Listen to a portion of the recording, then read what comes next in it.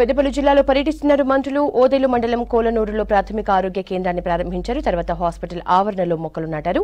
కార్యక్రమంలో మంత్రులు శ్రీధర్బాబు తుమ్మల నాగేశ్వరరావు పొన్నం ప్రభాకర్ గౌడ్ పెద్దపల్లి ఎంపీ గడ్డం వంశీకృష్ణతో పాటు ఎమ్మెల్యేలు ఎమ్మెల్సీలు పాల్గొన్నారు.